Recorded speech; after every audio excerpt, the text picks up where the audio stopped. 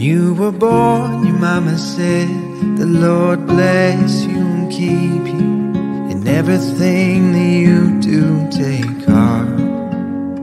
When you were eight, your daddy said, Never take your life for granted. Believe in second chances, my love.